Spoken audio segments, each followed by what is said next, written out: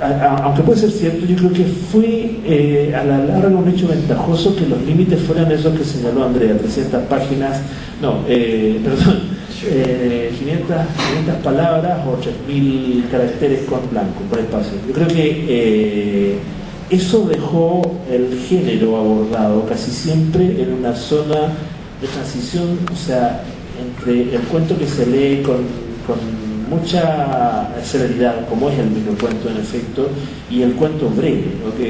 me parece que al final el margen, el intervalo escogido fue el justo y preciso para lo que es eh, una antología, para lo que es más fácil de, eh, de, leer en nuestra época y para lo que de pronto muy puede resultar muy representativo de cómo trabaja cada autor. ¿no? Creo que en ese margen de 3.000 caracteres eh, hay una exigencia de síntesis y de economía de medios y de, manejo de la atención que, suscita un desafío inmediato para todos los convocados. O sea, el que no el que no se las arregla bien en esa distancia tan corta, pero a la vez ni tan corta, digamos, es que a lo mejor no se las arregla bien, sencillamente. O sea, creo que en ese sentido es curiosamente una antología muy representativa de, lo que puede ser el buen hacer de muchos de los convocados.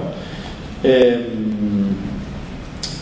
lo otro es que yo creo hay una antología previa de Juan Armando Eble, profesor chileno que vive en, en, Oregon, en Oregon, en Estados Unidos desde el año, desde los años posteriores al golpe, y hasta aquí él había hecho una antología del microcuento eh, hispanoamericano, Brevísima Relación se llama, y era eh, de lo más notable y la mejor referencia que había yo de todo lo que se ha hecho eh, en el mundo de habla hispana durante, en la fase contemporánea, diríamos, segunda mitad del siglo XX. Yo creo que este texto de Tito viene a complementar perfectamente esa antología y con lo que se hace a nivel nacional.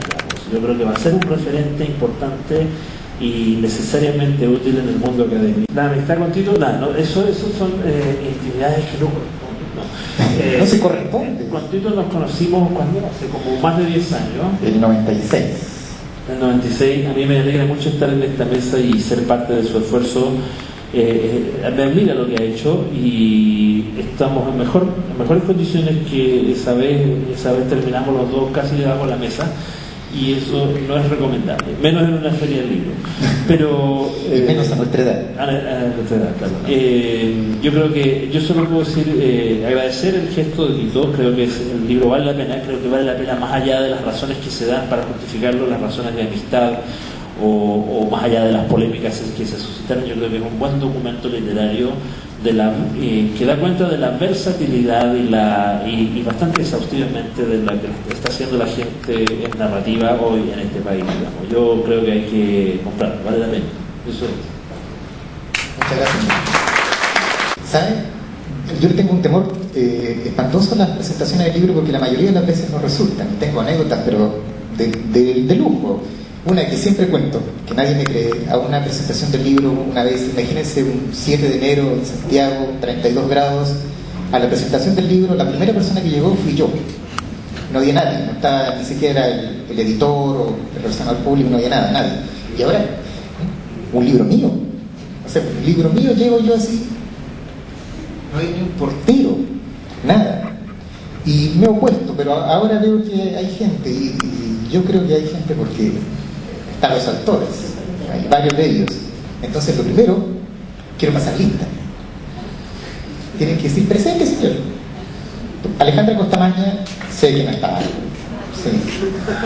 Alejandro Cabrera. Está Alejandro Cabrera. ¡Oh!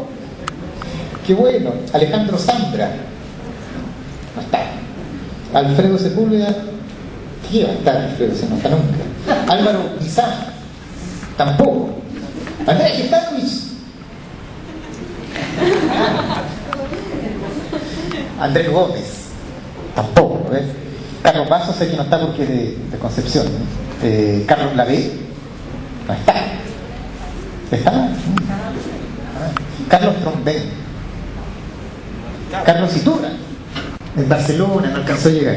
Cristian Kaiser. Diego Muñoz Valenzuela. ¿De qué son hartos? Ernesto Ayala compañero Neto Ayala, Flavia Rodríguez, que dicho sea de paso no la conozco. No la conoce nadie. No la conoce nadie. No existe. Francisco Ortega. Sí, llegó recién, se salvó. Gianfranco Roleri. Ahí está Gianfranco. Jaime Collier, no sé quién. Jorge Baradit. No está Baradit. Larisa Contreras. No llegó Larisa. Lilian Elpic. Tampoco. O este curso. Horrible. Lina Mevane, ella evidentemente no está. López Aliaga, ese no está nunca, no está ni en su casa. Marcelo Mellado. No está. Marcelo Simonetti. Bien. Marcelo Simonetti, conocido entre todos nosotros como Simonetti el Bueno. Sí, es verdad. María José Iragallo. Pablo Azócar. Está Pablo Azócar. Pablo Torres sí que está. ¿Estaba? Se fue. Se fue, se aburrió. Lo aburrimos. Patricio Jara, vi que llegó recién. Compañero Patricio Jara. Ramón Díaz, Eterovich. Eh, Sergio Meyer. Ahí está, yo sabía que era él. Perfecto. Tito Matán, yo. Y Jimena Jara. Ahí está Jimena. Esos son todos, fíjense, son 33 más acá somos 34. Eh, o sea, nos paramos en Sí, pues claro. Oye, eh, yo quería contar el asunto del título. Tengo que contar los entretelones. Eh, cuando partió toda esta idea y armamos la lista con eh, Arturo Infante, el editor, eh, que tampoco está. que tampoco está, no, ¿sabe? él presentó certificado médico. Sí, se está convalidado por el Servicio de justificativo. Salud. Sí. Bueno, partió todo esto y la idea era que el libro se llamara Brevísimos. Y el subtítulo típico, antología del cuento chileno, ya, pues y con eso eh, salió el correo electrónico solicitando a los autores que se sumaran, se sumaron, saben que todos, nadie se, echó para atrás. Eh, y brevísimo estaba bien, decía yo, ya, pues ese era el título eh, que yo tenía primero, pues, como antología de cuentos breves, tenía que ser brevísimo, pero después me entró como, no sé, pues una especie de mínimo eh, pudor y vergüenza por no ser un poquito más original. Y ahí empecé a buscar eh, nombres, empecé a buscar alternativas y no se me ocurrían, hasta que realmente se me ocurrieron. La otra alternativa que tenía y que la sigo teniendo, lo, declaro, lo confieso en este instante, es que podría ser un, un libro que lleve mi nombre. O sea, no como Tito Matamala, que yo tengo un libro publicado, dice Tito Matamala, sino que se llame Antología Matamaliana, del cuento breve chileno. Me habría encantado.